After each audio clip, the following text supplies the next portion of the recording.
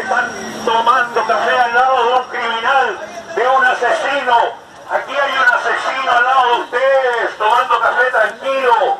Marco Delpich Miranda, torturador y asesino de la CNI.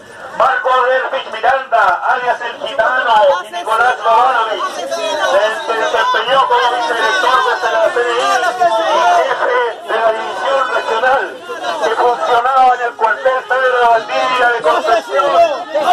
¡Asesino! ¡Asesino! ¡Criminal!